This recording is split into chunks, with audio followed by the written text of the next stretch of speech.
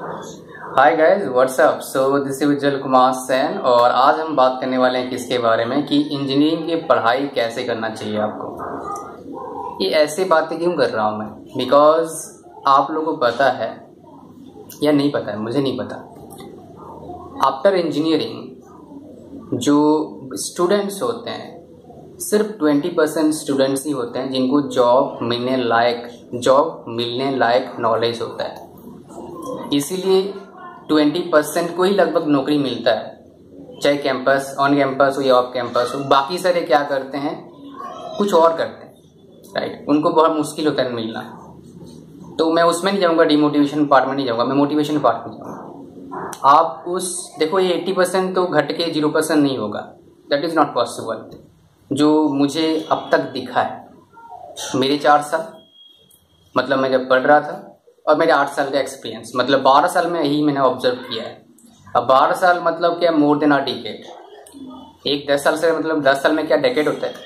तो इतना ऑब्जर्वेशन मेरे हिसाब से काफ़ी है आप लोगों को समझाने के लिए और आप लोगों को खुद समझने के लिए कि भाई कुछ करना पड़ेगा, तभी हम उस ट्वेंटी परसेंट में आ सकते हैं। अब उसी के बारे में बात करूँगा मैं। अगले जो भी आठ दस मिनट बात करने वाला हूँ, ये उसी के बारे में होगा पहले क्या करो आप गाइस पहले साल फ़र्स्ट ईयर क्या करना है आपको बता रहा हूँ। कुछ चीज़ें करना है। आप अपने कमी जो है ना, उसको ढूंढ के निकालो, उसके ऊपर काम करो। कमियाँ क्या क्या बता रहा हूँ। ओवर कॉन्फिडेंस मैं बहुत कुछ कर लूँगा, लेकिन अब तक शायद कुछ किया नहीं आपने।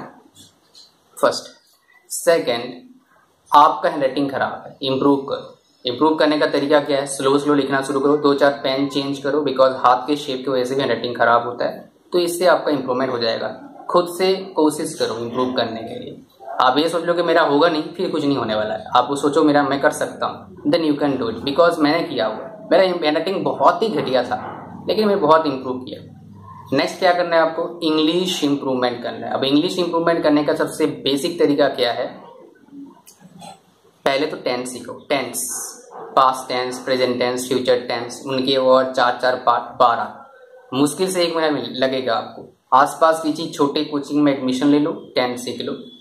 देन क्या करो आप? जब भी आप कॉलेज में जाते हो, बात करते हो in between Hindi sentences try to add few English sentences एक साल ही काम करो। उससे क्या हो जाएगा? आप थोड़ा बहुत इंग्लिश बोलने लायक बन जाओगे। नेक्स्ट और अच्छा से बोलना है। आप किसी एक पार्टनर को ढूंढो अपने कॉलेज में और start speaking English everything if you can do it then जो भी इंग्लिश बोलते हो ना, आप सोचना पड़ता है। जैसे आप अपने मदर टंग बोलते हो, सोचने की ज़रूरत नहीं पड़ता है। अगर आप प्रैक्टिस करते हो एक दो साल then you don't need to think while speaking in any language you practice that language for few years or even few months 10 months or 6 7 months at least, right? जितना प्रैक्टिस करोगे, उतने अच्छे आप इंग्लिश बोल पाओगे। आप स्टार्ट करेंगे, हो सकता है मीट में मीट सेशन में हो मीट पोजीशन में हो, लोग हंसेंगे, हो सकता है। That is possible that is obvious होता है। लेकिन आप लोगों के बारे में मत सोचो यार। लोग कौन क्या बोल रहा है अगर देखोगे आप कुछ नहीं कर पाओगे लाइफ में। क्योंकि लोग अपने एक्सपीरियंस की बात देखते हैं। आप खुद को पहचानना है कि मैं यूनिक हूँ और वाकई में आप यूनिक हो, मैं भी यूनिक हूँ। मुझे बहुत कोई बोलता है, सर सर नहीं बोलते, बहुत ऐसे आपने क्या किया है? अब उसके बारे में बात नहीं करूँगा। मैंने तो कुछ किया है, तभी लोग देख रहे हैं, और तभी लोग मेरे वीडियो से उनको फ़ायदा मिलता है। राइट अच्छा ज़्यादा देखना है तो मेरे फेसबुक प्रोफ़ाइल देखना, थोड़ा बहुत डाल रखा है मैंने उसके बारे में। चलो, अब बात करते हैं नेक्स्ट क्या है? ये तो चीज़ें हो गया। स्टेप बाय स्टेप नेक्स्ट बहुत इंपॉर्टेंट है। बहुत इंपॉर्टेंट है, सही में।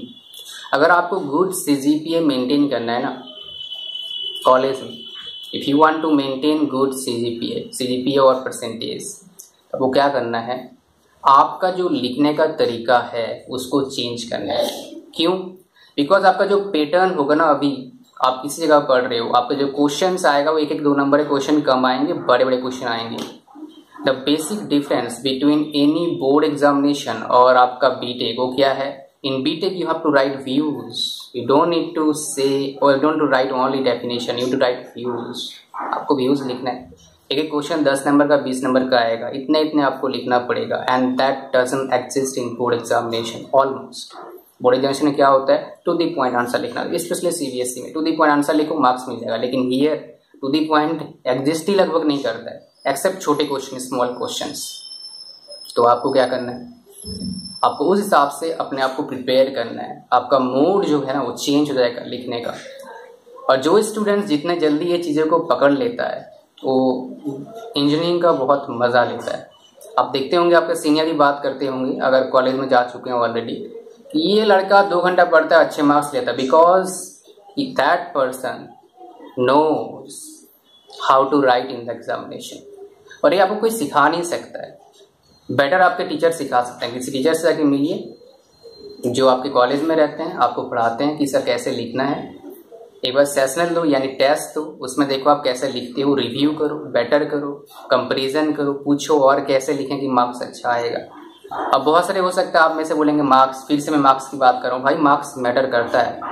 दोबारा रिपीट करता हूँ। मार्क्स रियली मैटर करता है। आपका टेंथ का मैटर करेगा ट्वेल्थ का ही मैटर करेगा बीटेक वाला ही मैटर करेगा।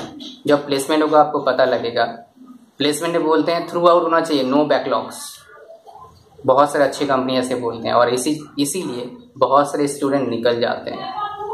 आप लोग सुनते होंगे, ऐसे भी सुनते होंगे seventy percent throughout no backlogs और ये अगर आपका थ्रू आउट सेवेंटी परसेंट है, बहुत सारे स्टूडेंट का होता है। अगर नहीं भी है टेंशन मत लेना।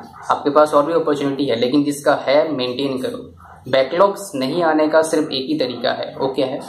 You need to know how to write in the examination if you'll come to know and if you'll understand the process of writing in the examination there is very very very very less chance that you are going to get backlogs doesn't matter in each college doesn't matter in which university you are study this is my personal experience because personally i taught in more than five universities right? Including private as well as government. That's i'm telling you this thing right? It's not telling you after knowing some from somewhere else. I'm telling you my own experience. I work for rtu i work for kurukshetra i work for mdu i work for private university in himachal pradesh i work for almost ptu and uh, online i work for almost uh, i think more than 100 countries students already watch my videos so even i have students from australia from philippines from vietnam from uk from dubai all over the around all around the world. But most of the students they even pakistan also right? But the thing what i'm telling you need to understand need to focus laser focus there. If you focus just like a laser maybe you have seen कहाँ पर देखे होंगे आप? जहाँ पर क्या होता है, हालाँकि वो अलाउ नहीं करते मतलब वो बोलते नहीं करना, लेकिन करते हैं बहुत सारे। वो क्या है? लाइव स्टेज शोज़ में लेजर लाइट राइट तो ये चीज़ें जो बता रहा हूँ मैं आपको this is really important this is very very very very very important to understand इसके अलावा क्या करना है गैस लिखने का तरीका हो गया इंग्लिश इंप्रूवमेंट हो गया हैंड राइटिंग इंप्रूवमेंट हो गया नेक्स्ट बहुत इंपॉर्टेंट है। अपने खुद के नोट्स बनाना शुरू करो। बेस्ट तरीका है। क्यों बता रहा हूँ? लास्ट टाइम रिवीजन के लिए। और लिखने का तरीका में सबसे इंपॉर्टेंट है, जो भी ट्वेंटी मार्क्स के क्वेश्चन होते हैं, इतने बड़े याद नहीं कर पाओगे। आपको समझना पड़ेगा और आपको अंडरस्टैंड करना पड़ेगा। आपको खुद से खुद से लिखना सीखना है आपको। You have to learn how to write from yourself you do you just cannot write bookish language on your whole sheet आप पूरा बुकिस लैंग्वेज नहीं लिख सकते यार। Thirty two pages thirty six pages होते हैं। कहाँ से लिखोगे, कहाँ से याद करोगे इतना? You have to understand the process of writing the process of understanding the process of studying engineering and मैं तो बोलता हूँ, सारे कॉलेजेस में एक वीक का यही क्लास होना चाहिए। ओरिएंटेशन प्रोग्राम में यही होना चाहिए। ओरिएंटेशन प्रोग्राम उससे करवाओ जो कॉलेज में अच्छा स्टूडेंट है। मैं सबको बोलता हूँ, लेकिन मेरे हिसाब से बहुत कम कोई फॉलो करता है इसको। इवन मैं जहाँ पढ़ा था, वहाँ भी बोलता था, मैं सीखा था, हालाँकि मैं वन वीक तो ही करता था। फ़र्स्ट वीक यही पता था, भाई कैसे लिखना है सीखो। Try to learn how to write in the examination because after all देखो, आपका फेस तो नहीं जाएगा। आप क्या लिख रहे हो जाएगा टीचर के पास। बिकॉज़ मैं भी कॉपी चेक करता हूँ, क्या चेक क्या देखते हैं, मुझे पता है कुछ मैं बता नहीं सकता because this is a social media I cannot share all those secrets here because those are not that much uh, transparent. I mean, I cannot I cannot be transparent with uh, all those facts, right? But what I'm telling you, this is the hard truth, right? तो यही था बताना कि कैसे पढ़ना है। और इसके अलावा क्या है सेकेंड ईयर में फ़र्स्ट ईयर में ही सीखना है आपको। सेकेंड ईयर में क्या करना है आपको? चूज़ कर लेना है पाथ को। भाई टेक्निकल लाइन में जाना है नॉन टेक्निकल में जाना है। सेकेंड ईयर आप चूज़ कर लो। टेक्निकल जॉब में जाना है नॉन टेक्निकल में। और थर्ड सेकेंड ईयर से उससे जो लाइन को चूज़ करो, उसके पीछे पड़ जाओ स्लोली स्लोली थर्ड ईयर है। अब देखो अगर किसी बिज़नेस करना है तो आइडियल टाइम में बिज़नेस स्टार्ट करने का थर्ड ईयर कोई भी आप टेक्नोलॉजी को पकड़ो, उसके ऊपर बिज़नेस शुरू कर सकते हो। अगर फेल हो जाओगे बिज़नेस में, कोई दिक्कत नहीं, आपके पास दो साल है टू ईयर्स है। और थर्ड ईयर के बाद और कुछ पंगा मत लेना। ले सकते हैं ये नहीं बोला हूँ, ले नहीं सकते, ले सकते हैं, अगर आप बहुत ज़्यादा कॉन्फिडेंस लेवल आपका बहुत ज़्यादा है, आप चाहते, आपको पता लग रहा है कि मैं बहुत कुछ कर जाऊँगा भी जाओ भाई, कोई दिक्कत नहीं है बिकॉज़ आपका लाइफ है, आप खुद डिसाइड करना। मैं जो बातें कर रहा हूँ एवरेज बिहेवियर है एक्सेप्शनल केसेस जो होते हैं, उनको मेरे बात सुनने का शायद ज़रूरत नहीं है what I feel right so guys इस वीडियो में इतना ही, दस मिनट हो चुका है, मैंने आपको बताया दस मिनट का वीडियो बनाऊँगा। Thanks for uh, thanks for watching guys. Thank you very much and see you soon in my next video. Bye bye.